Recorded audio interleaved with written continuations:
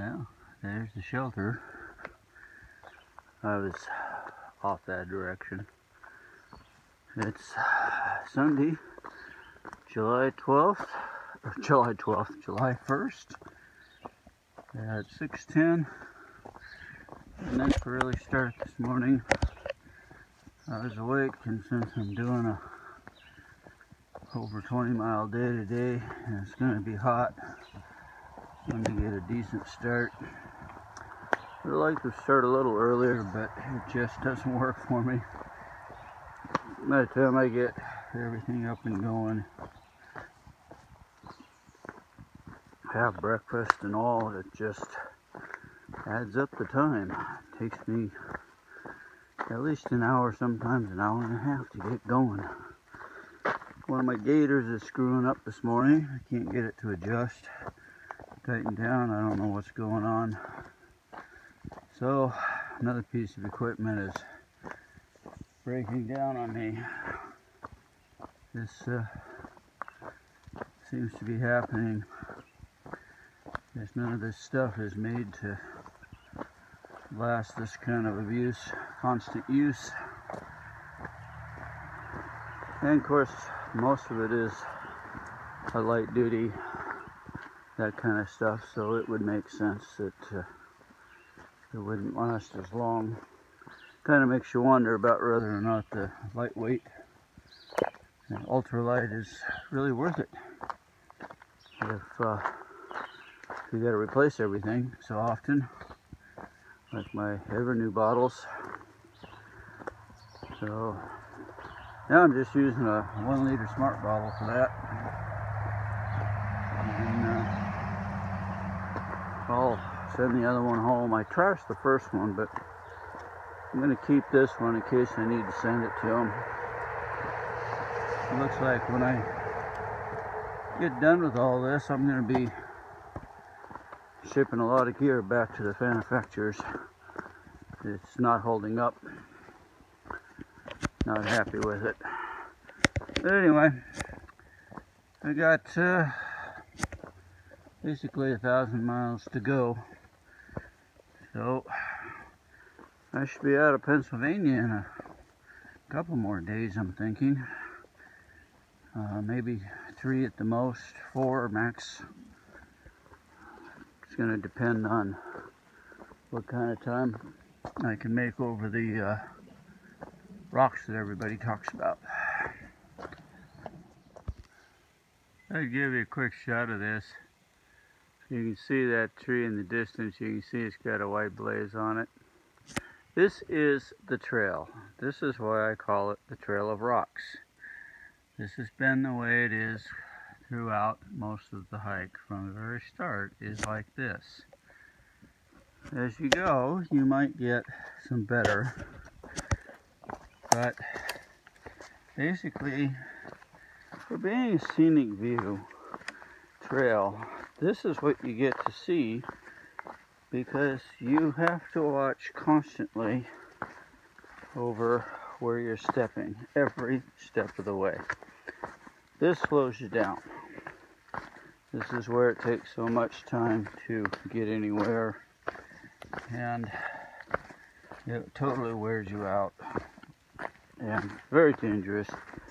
As you can see, the rocks are literally, you're walking on edges and trying to pick your way around. Uh, well, here's first view of the day after I just went up and over a little speed bump. Took about an hour and a half from camp now.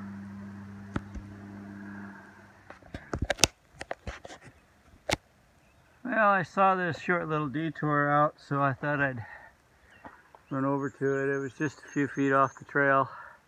Nice little overlook. Hazy day out today. While I was there, or here, I happened to notice this. And according to Guthooks, I am exactly at 1200 miles. So, there we go.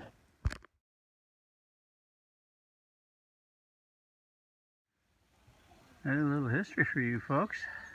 1755, site of Fort something, Dietrich, Snyder, a lookout post for one of the approach to the enemies of the French and Indian War, Historical Society, da da da da da.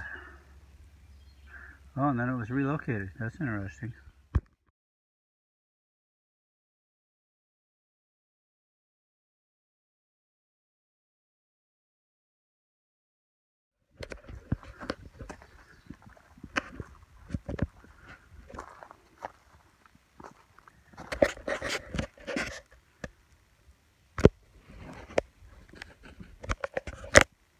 So he's right underneath the, about six inches behind the edge of that log.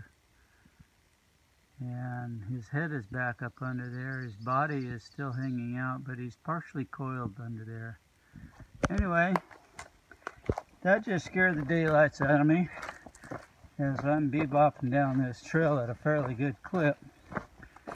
And uh, I literally took a step right beside him before I saw it. And uh, so I guess I should be happy that he was a very patient guy and allowed me to backtrack and then he moved off a little bit and I went around through the brush off the opposite side. Hope I didn't pick up any ticks doing that. Uh, have to say, when you come across them that close, they uh, literally do scare the crap out of you. And now it's got me watching the trail even closer than I was, because they uh, they blend in really good. If it hadn't been for the fact that I spotted a pattern on his back, I wouldn't even have realized it was a snake. It would just look like another dead branch laying here. So, anyway, that uh, livened up my day.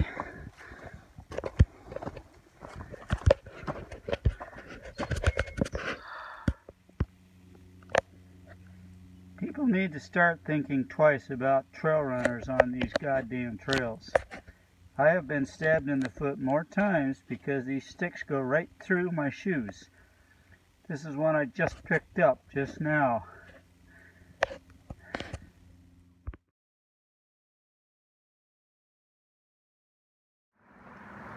Well, 345. Welcome to Clint, Port Clinton. And this uh, river we're crossing, I just came down out of those mountains across the tracks. And now I wander into town. Whew, it's hot. Out of water. Could really use a cold drink. Hope we got a mini mart hanging around up here someplace.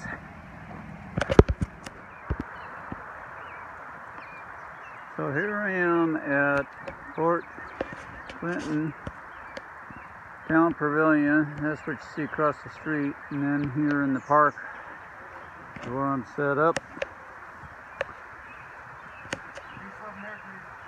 And got my hammock hit, hidden behind the trees here. Use the river back behind to uh, rinse out my clothes and even uh, rinse myself. Felt really good getting uh, cleaned up and spend the night here, then go in the morning. I'll uh, catch a ride into town and get resupplied in the morning. Oh, you too, huh? And then decide what I'm doing the rest of the day from there. Okay, wrap up for July 1st at Camp Clinton pavilion, parking, uh, camping area. Um, just finished up dinner. Been here for quite a while. I got here like 3.45, so I got here early. The day hiking itself wasn't too bad. It went pretty good outside of the uh, lack of water, that kind of thing. And that got a little tight this afternoon, but it wasn't real bad. And then we, uh, let's see, I got down, started at 6 this morning, so that's not too bad for 24 hour day, uh, 24 miles. Got uh, a couple of strange people hanging out in the park here that are camping. I'm not sure what's going on with all of them. But anyway, whatever. Just finished dinner. Going to uh, wrap things up and get to bed early. I'm going into town tomorrow to get uh, supplies and probably a new pair of boots. I'm going back to trail boots. I'm Going to try those on the AT since I'm not having a lot of good luck on the uh, with trail runners.